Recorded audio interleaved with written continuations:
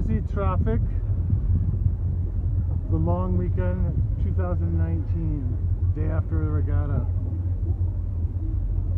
We've got super cool Chris in his white Blue Jays hat, and we have a million boats.